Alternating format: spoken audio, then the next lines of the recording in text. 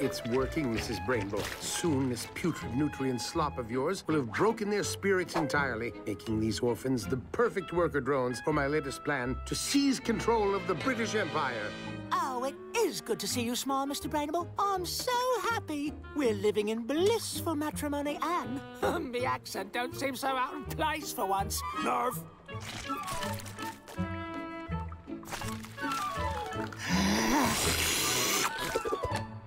Please, sir, can I have seconds? Seconds? Wait, you actually like this fetid calorie paste, urchin?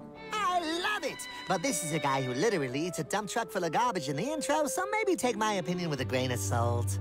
I got a grain of salt. Genius.